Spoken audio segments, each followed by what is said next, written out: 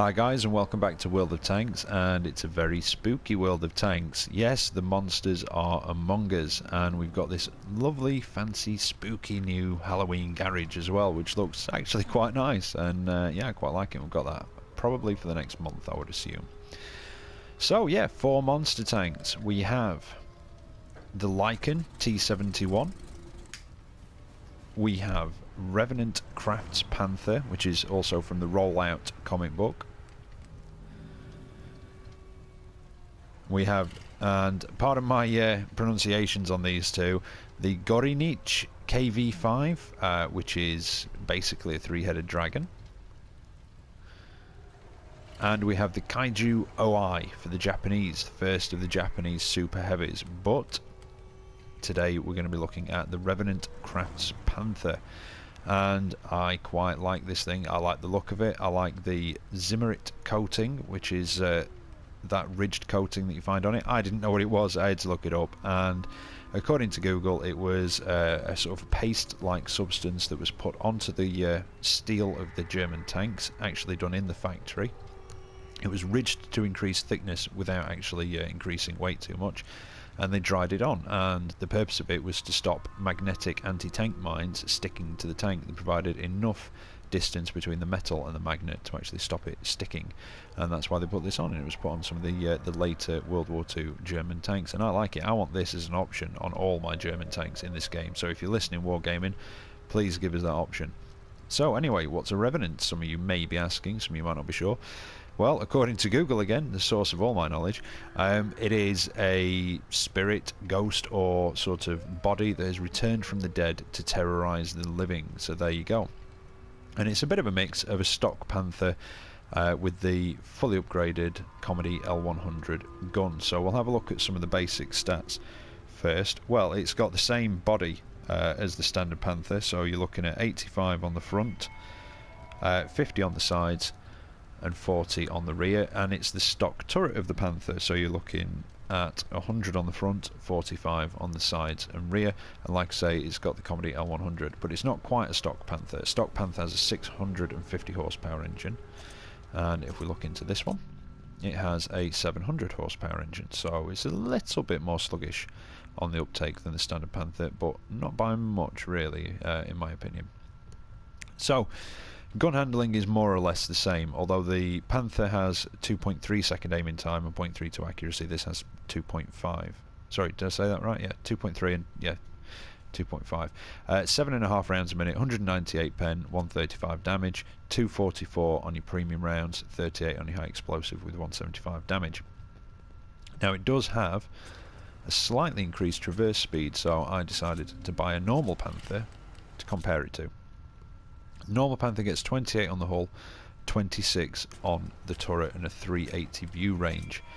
Now this one gets 30 on the hull, which kind of makes up for the lack of engine power, but quite a bit more on the turret traverse, 38 degrees, but it does lose 20 meters on the view range. But the 30 degrees is actually slightly slower than the stock turret on the Panther. So yeah, it's a bit of a mixed bag, but it's not as sluggish as I thought it would be. Uh, it's actually got an increased top speed, if we have a look, of 55 kilometers an hour over the Panther's 48. Uh, same reverse speed of 20 kilometers an hour. Now it gets a power to weight ratio of 16.46, whereas the normal Panther, if we have a look, is 19.61 so it is a little bit like I say a little bit more sluggish on the uptake you notice it more on the hills but it can really shift when it gets going with that extra top speed but let's have a quick look at the modules on it uh, so you can see where they are if you want to take one of these out I mean the front can bounce a few shots I was bouncing them from a T20 earlier with a 76mm gun uh, but other than that you've got to be careful uh, this is more of a, a support sniping tank in my opinion just like the standard Panther, Panther 2, Panther 88 but anyway, big old engine block at the back. And gun goes quite far back into the turret actually, so you hit it anywhere in the turret and there's a good chance you can damage the gun. Obviously the tracks, turret on top.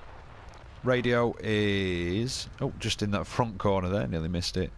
Ammunition, quite a bit of ammunition in the sides. So on the right hand side of the tank, more or less under the turret from the front and in the middle. And on the left hand side of the tank, Yeah, all the way from the front to almost the back of the turret are ammo racks, and just down each side under where the gun shield would be as well. So if you wanted to take it out uh, by ammo racking or damage the ammo rack, that's where you want to be hitting it.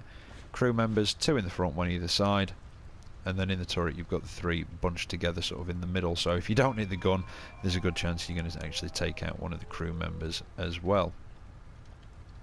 So, armour-wise, I'm giving you the basic numbers, but again, never really tell the whole story. So, you've got 1 to 20 mil, which is basically the whole top of the tank, and the top of the turret as well, and the top of that commander's hatch.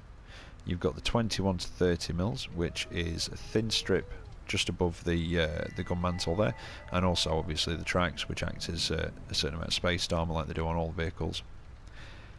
Your 50 mil all the way down the sides of the hull, and those uh, sort of shoulders, if you will, jutting out over the tracks. It's pretty much solid all the way around, same thickness, and well, it's 45 all the way around the sides and the back of the turret as well.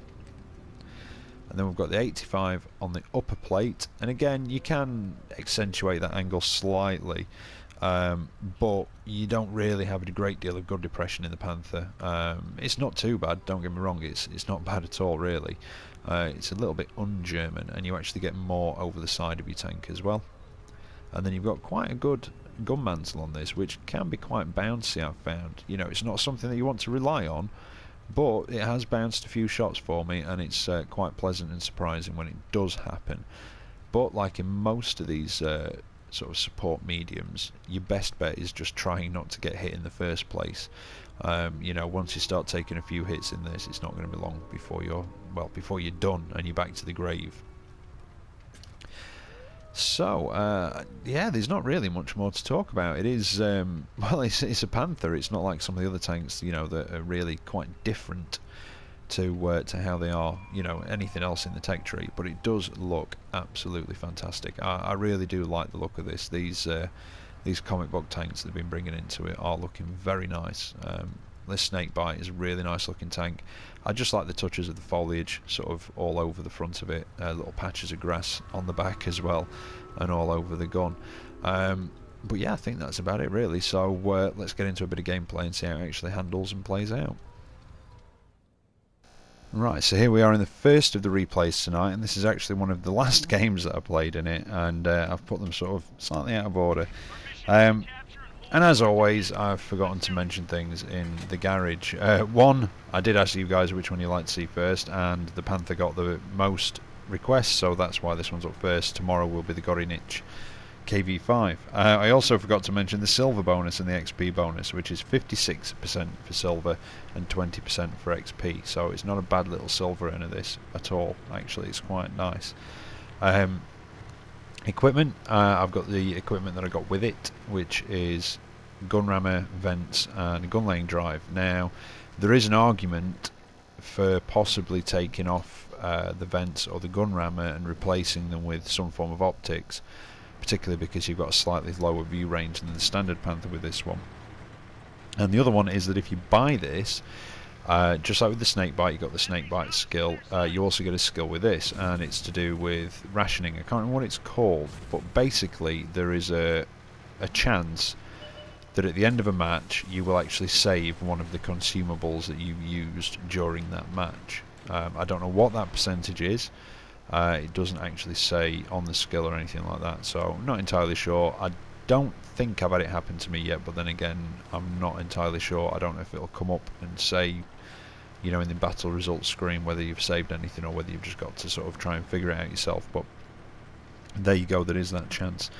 Um, and obviously the, uh, the the fact that Revenant uh, it's supposed to be a corpse or a, a, spirit returned from the grave does explain why this thing looks so beat up.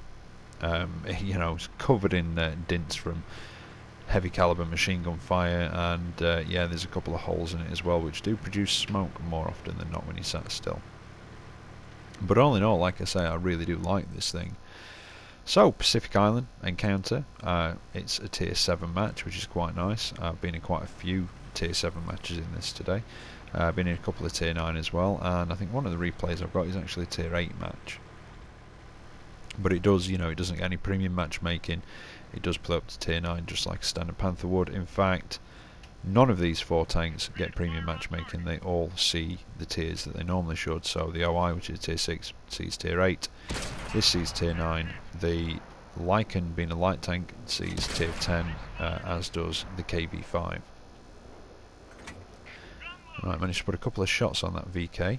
Uh, I am aware that I'm on my own round here, which is why I'm being quite cautious and trying to sneak around. Now I saw him pop down and I was expecting him to come around this way, so that's why I just waited a minute to drop off radar and then came around here myself.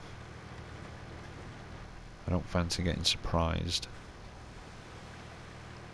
And like I say, I mean, I, I, I prefer to use this tank as a support, but on a map like Pacific Island, you know, it's not a particularly big map. And in fact, I took a hit from that 3002, but I managed to finish him off without taking any more. Um, yeah, it's not a particularly big map, so sometimes you just have to get in there. The Death Toaster coming over the hill. Managed to put one into him, but he does get a hit in return. Put one more in and then somebody else finishes him off. And I get a bit of spotting damage for that. But I am aware that artillery is in the match. So I want to keep moving, try and keep a bit random. That's a very dodgy shot on that T25 slash 2. No, I wasn't expecting that to hit, but it was worth a go. Um, but yeah, I mean, really, with this, like I say, it's if you've played the Panther, you'll be able to get in this and and just play it. Um, like I say, it, it's just the standard L100, uh, the long 75 off the standard Panther, just with uh, 0.2 second longer aiming time. But apart from that, same rate of fire and same accuracy. Um, same damage and you know penetration, so that's pretty standard. Standard hull, uh, like I say, it has got slightly increased uh, hull traverse, which I think would make up for the uh, decrease in engine power. Uh, but it has got a much greater turret traverse, which I have actually found quite useful, um, and it's helped me out in a couple of matches, to be honest. Take a bounce from that Death Toaster, and Auto Aim does not like me. It just donked it into the ground. So I'll get a bit closer, take another bounce from him. He can't be fully upgraded. Fully upgraded, it has a long 88 with I think 203 mil of penetration, so he wouldn't have any problem. So I'm going to go around, auto aim again, donked into the floor, and this is where I get frustrated. I'm just going for the ram but I reload in time so I'll just put one into him. Now, time to deal with artillery. And it's at this point that I kind of realised that we'd, well, wiped out everybody apart from artillery. And that was a very close one.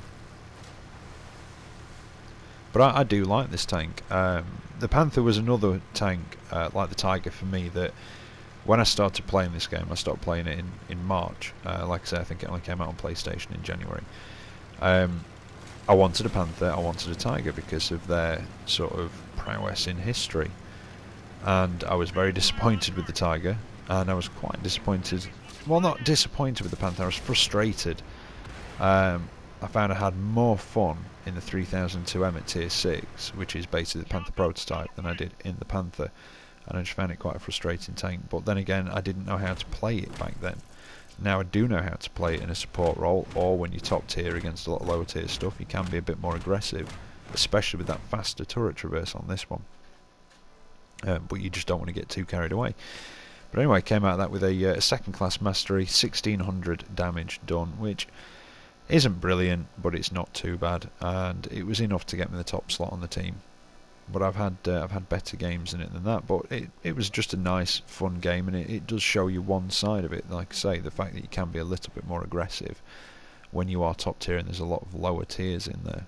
And I, I mean, I tore that T29 apart just putting hit after hit into him because the rate of fire is is quite nice on it. Anyway, got the second one for you now, and it's Sand River Standard Battle, and this is Tier 8 match, so I am not top tier in this and again, you know, it's uh, not a stunning match. I do quite a respectable amount of damage for a, you know for a tier down in a match. Um, nothing to shout home about really, but it's uh, it's a decent match, and it's at the risk of giving away a spoiler, it's enough to get me in the top slot again. So I was quite happy. Now I'm looking behind. I've got a kaiju in here as well. And do you know I've been having a lot of fun in the kaiju. Uh, I've not been in a match yet where I haven't been top tier. I've been very, very lucky because it can play up to tier 8. And uh, I've always been top tier in it, and when you're top tier, that thing is an absolute monster, literally. Uh, but anyway, we'll talk about that one on Wednesday. Yeah, Wednesday. I'll do the Lycan last, I think. So, I have got a little bit of company coming over this way with me. But I'd rather not be first. Um, like I say, tier 8 match, I would rather stay back a bit and provide support fire. You know, sniping across, try and stay out of the enemy's spotting range and use my teammates and like I say, lay down supporting fire. And I think in uh, in tier 8 and 9 matches that's how you've got to use this tank. You've got to stay back a bit, you know, not camping at the back, but you know, you've got to be that second line. Use the spotting range of your allies, of your higher tier tanks to get in there, and you basically just whittle things down. Because I mean, you only do 135 damage per per shot with this, which is I don't want to say it's on the low side for a tier 7. I mean, this is a tier 7 tank and not a tier 8, but it, it's not the highest. I mean, some of the, the Russian and the Chinese have got quite a bit of damage behind them. Uh, but they've not got the rate of fire of this. So you basically just whittle things down from a distance when you're bottom tier. And it does work quite well. I mean, 198 pen is definitely nothing to, uh, you know, to look down upon. It's quite a decent pen. And uh, pen on your premium ammunition really comes in in those uh, tier 9 matches, especially when you can't outflank. There's no option for it. But it, it's accurate as well, and that's what I like about it. You can aim for those weak spots uh, a lot better because of the uh, good accuracy. Right, the M6 is done for. See, I took a hit from, I think it was the Churchill, but I don't know what happened to it. It got eaten up in something. Those sort of broken side skirts on the side of the tank seem to be purely cosmetic. They didn't show up in the armour viewer. And again, if you're careful, you can side scrape against uh, same tier vehicles in this. And that was a bit lazy of me with that Tiger 2. I was a bit far back and I took a hit because of it. Didn't manage to penetrate the front of that Churchill though. and this is where I break contact so I'm going to move up onto the hill and see if I can put flanking shots in instead. Because again I was painfully aware of being quite out on a limb there on my own. So I do have to be quite careful and I'm I mean I must admit I'm lucky in this match that the enemy team haven't made a big push over this north uh, northeastern corner because more often than not you'll get a good third of the team up here but now I can put shots into the side of that Tiger 2. He knows that I'm over here somewhere. And there he spotted me. Now I've left the crew in this. All these monster tanks seem to come with named crew. They all come with the same crew rather than just a random named one. Um, I think it was on the World of Tanks website. It actually gives you the crew names on there. Now, something I've not looked into, and I will try to look into tomorrow, is whether those names mean anything obviously, you know, with the the Revenant Panther, it's the name of the crew from the comic book. Um, but with the Lycan and the uh, Kaiju and obviously the uh, Gorynych, whether they mean anything or not, I'll I'll have a look, see if I can find out in tomorrow's video. Now, managed to take out the Tiger 2, come round on this Churchill, but he is giving me a bit of a problem, and it's my positioning so I'm going to try and reposition to get a better shot at him. He gets another one into that cupola on top, which is quite sizable really. But then he gets taken out. But there's a T-34 camping the ridge by the enemy base. Of course, where else is a T-34 going to be? Top tier heavy with a damn good turret and a very powerful gun. He's going to be at the back, camping the base. yeah, of course he's not going to be any use anywhere else, but never mind. He's my problem now. So, keep putting the shots in. I managed to hit his ammo rack, but it wasn't going to ammo rack him from that, well, with this uh, 135 damage. But that's what I mean, you need to just chip away at that health. I was out of his view range And I think this is where I possibly made my mistake. I didn't have high hopes for this match from the beginning because of the, the lack of our team coming this way. Um, but it was turning out okay, but I was getting a bit impatient. And I really thought that T-34 had dropped right back down, but he hadn't. And he starts creeping back up. I was actually going after a tank destroyer then. And I tried to take his tracks off, but I can't. And I put one more in, and I stay a lot longer than I'm actually welcome. Yep, and I take that hit for it. And again, that's my own fault. I stayed there for a lot longer than I should have done. But I'm not doing bad. Like I say, it's you know I'm not top tier, not exactly bottom tier either. But I'm doing all right so far. Until, in a moment, I have a sudden rush of shit to the brains. See if now remember what I said about, yeah, I've kept the crews in it. And you might be wondering why I'm not moving. And I'm now dead because of it. And it's because I completely forgot I don't have sixth sense on the crew. Yeah, that's what I mean by sudden rush of shit to the brain. So anyway, we'll skip to the end and see how I actually did. And unfortunately it was a defeat but I did just over 2,100 damage. And actually blocked 600 which isn't bad and I came out of that with a sniper medal and a first class mastery and top of the board and also top for damage done uh, for my team as well which I was quite surprised about and quite pleased with to be honest. Um, I really didn't think I'd have come top in that match. I didn't feel like I'd done much to be honest uh, but yeah unfortunately it was a defeat. And we've got one more coming up for you now and yeah there's a little bit more to it this one. I really enjoyed this match. And this one was actually uh, the third match that I played in this. Um, and it like I say I do like it. I, I, I, do like this tank. I know how to play the Panther now. Like I say which I didn't do the first time I unlocked it and uh, I don't feel frustrated with it like I did then. I was expecting a lot more from it. I had, you know, quite high expectations. But again, it, it's a bit like with the Tiger. You get the Tiger when you're top tier and you're up against mostly things like Shermans and T-34s, you know, the sort of tier 5 stuff.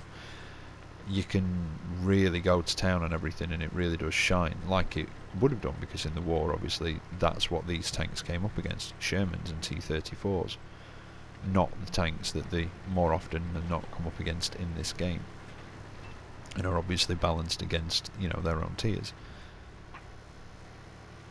But I just uh, like I said I just felt that the garage review on this one was a little bit short but then you know I sort of looked back over it gave it a quick listen to realised that I've basically covered everything apart from uh, the stuff that I covered in the first replay like the uh, bonuses and the equipment. And uh, that there isn't really I mean, I don't want to make it sound bad or boring or anything like that, but there isn't a great deal to talk about with it because, like I say, it is, you know, it's the the top gun off the Panther, it's the hull off the Panther, it's the stock turret off the Panther, um, and I've covered the differences. And uh, like I say, I think I covered everything. Uh, if I didn't, and you feel like I've missed something out, then feel free to leave it in the comments. You know, that's how we get better at these things. Oh, in fact, the last thing I haven't covered, I've just thought about it, is uh, concealment. This does have a slightly better camouflage rating than the standard Panther. So that's quite nice. And, and uh, there has been the odd match where I've felt, kind of felt it. I know it's only a tiny amount, but there's been a couple of matches where I've been shooting stuff and it has not spotted me and I was certain it was about to and it, it just didn't so it was quite pleasant but it is just a nice tank to drive and it's a nice tank to use and I am really enjoying it Right, that 3001p has been very wary. I don't blame him, he's lost more than half his health. I'd be a bit cautious at that point. I'm just wondering if he's going to pop out.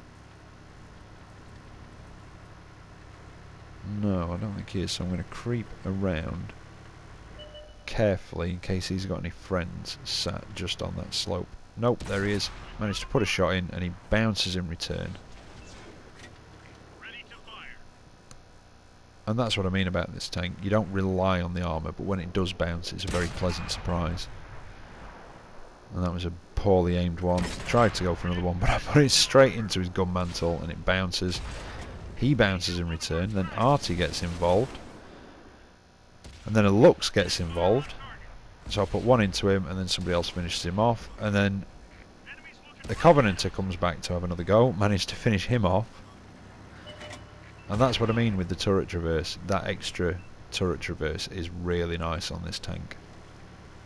Against that Covenanter there I would have had to uh, traverse the hull as well as the turret to get it round on it as quick as that. But as you can see, just sort of snapped it round, boom, done. But I take a big hit from the Sturer Emil and put a little one in return. Now let's see if we can even the odds a little bit and take out one of these before we deal with the other. And the Sturer gives me his side, so I'm going for the racks. I don't get them though. One through the front, not quite enough to finish him off. That was a bit of a low roll actually. And the guy next to me manages to get the kill shot. And then I take another hit from RT, and that nearly finishes me off, but I managed to put one into the 3001p, and he's done for. And yeah, I'm going to let those guys go out first. On 41 health, I'm going to stay a lot further back than I was before. And that, I don't know if that was aimed at me, but that was damn close. Got 3000, uh, 3601H across there, and I'm far enough away, and with cover from the foliage, that I can shoot at him and he's not going to see me one of the guys in front of me is spotting him and I can just keep putting shots in. In fact, I've got to be careful that SU-152, I don't want that to hit anything anywhere near me. Excuse me. If he's got that howitzer firing high explosive, just planting a shell near where I am is enough to kill me. Now, put another shot in, but he's not there anymore. And again, I'm just feeling a bit like, oof, 41 health. If I get spotted, like I say, they've just got to sneeze at me. Managed to just take out the Jagdpanther though. Put a couple of hits in, so did somebody else, but I managed to get the kill shot on him. And yeah, that's when we start getting capped. So, I'll let them make a push on the enemy base. I don't want to head out that way in case there's anything hidden in all that foliage on those hills that can snipe down. So I'm going to come back around this way. You can get a good view over our cap from over this side. And I should be far enough away to not get spotted and again be able to provide supporting fire without getting seen myself. And that's kind of what you have to do in this, although I did have to come up into the middle because nobody else was doing, and if I didn't, then those guys would have been able to make a push straight through and basically be overlooking our base, which wouldn't have been much fun for us. Managed to get a blind fire on that very low health. I think it was Chi-To, was it? Or Chi-Ri? Chi-To. I'm going to creep along here. I don't want to fall off and slide down and hit too hard because that'll kill me as well. I've got Tiger P pushing the base now. No, bit too late on that shot. A Type 64 worrying that tank destroyer down there. if he's not careful, he'll circle him and take him out. Just checking to see if the Tiger P's popped out again. No, there's a Churchill coming out. And I see the Type 64 again, so let's help out that tank destroyer. And again, managed to just do a bit more damage to him and finish him off and get the kill shot. Now the Churchill's popped out. Now he's obviously behind stuff, so I've got to try and look for a shot. No, a bit too late. Didn't lead it enough and that one missed. The scores are pretty even. There's me, three tank destroyers against two heavies and medium and a tank destroyer. Team's are not particularly even, but the scores are, are quite even at this point. Well, bang even in fact. And we're being capped again. That'll be that Tiger P and I actually thought he'd been dealt with. I took my eye off the ball a minute there. And thought that he'd been dealt with, but no, he's uh, he's capping our base, and I'm just trying to get to a position where I can see him. And again, it's not a lot, it doesn't sound a lot, but 20 metres can be all the difference. There he is. Now, he's just within my view range, but I don't think it was me that spotted him. I'm pretty sure it was a tank destroyer. And in fact, if he takes a hit from something else and I don't get any assist damage, then yeah, it's definitely not me spotting. Yeah, somebody else has spotted him. But again, that's what I mean. You just chip away at the health from a distance. With the heavies and things like that.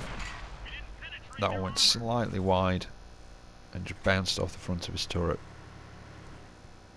Now again, this is a bit dangerous. I don't really want to get too close. I don't want to give my position away too much. But he didn't seem to spot me then. And this is where I make a questionable decision looking back on this at the time, it kind of seemed like the right thing to do, but looking back, I think this was a bit questionable. I think what I should have done is go back to our cap, sit with those tank destroyers, and let them use their view range to spot while I provide the supporting fire again. But I get a little bit brave and a little bit silly, and I think, you know, because I had quite a good match. I was feeling a bit better than I, than I actually am. And uh, even though I realise I'm on low health, I was just thinking I'm going to try and sneak up on this guy.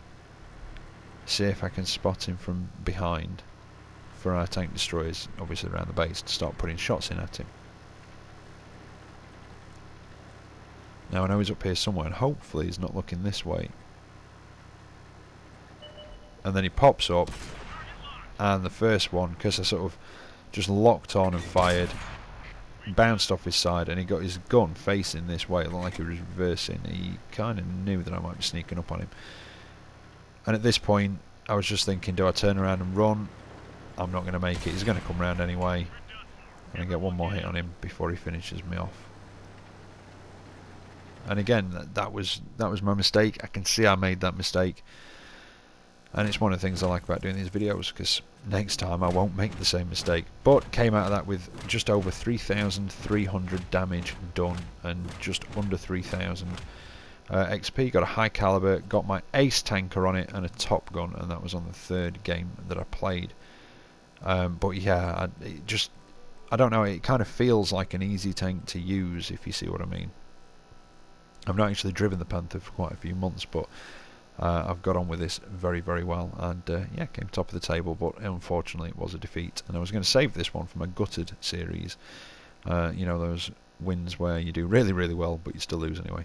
Uh, those wins, those games where you do really well, but still lose anyway. But there you go, the Revenant Kraft's Panther. Um, I hope I've been uh, informative for you, and I hope it might help you when I've done all four of them. Make your mind up whether you want to shell out for the whole thing or whether you just want to earn one and uh, if you do want to earn one which one you want to earn. So I'll be back tomorrow. Take care and I'll catch you next time. See you later